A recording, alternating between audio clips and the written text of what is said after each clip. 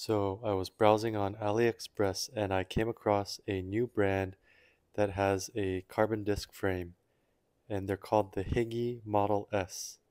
I'm not sure if you've seen this or if you've bought this, but they've got high ratings and they even sponsor Bialini cycling team. And the design of the bike looks really, really cool. They've got some nice paint schemes.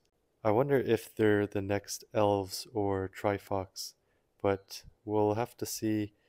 The frame is currently being made and painted, so hopefully I get it soon.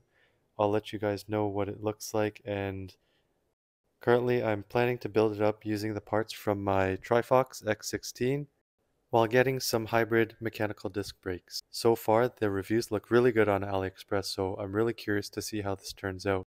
Make sure to subscribe so that you can join along my journey in building the Hygge Model S.